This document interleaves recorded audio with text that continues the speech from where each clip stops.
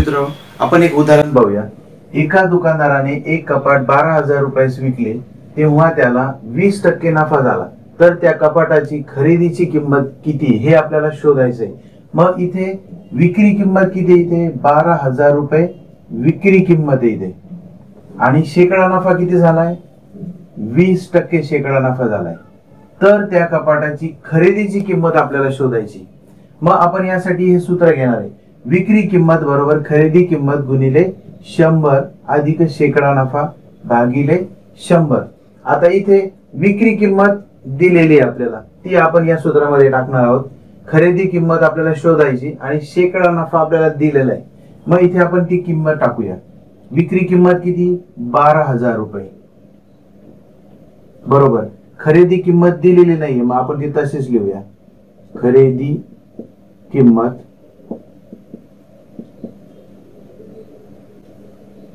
गुणिले. इथे कंसामध्ये शंभर अधिक शेकडा नफा इथे दिलेला आहे आपल्याला. मग तो आपण इथे लिहिला वीस.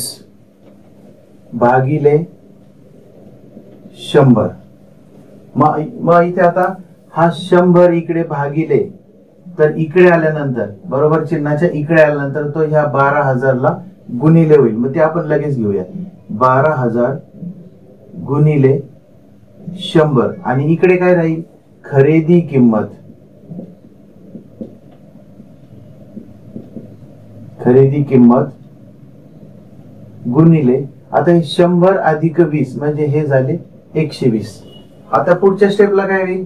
हा जो एकशे वीस आहे इकडे खरेदी किमतीला तो गुणिले तो इकडे बरोबर चिन्हाचे इकडे ट्रान्सफर झाला की तो काय होईल? भागिले होईल याला. मग आपण इथे लिहूया बारा हजार गुणिले शंभर भागिले एकशे वीस. इथे बरोबर हे राहिलं खरेदी किंमत.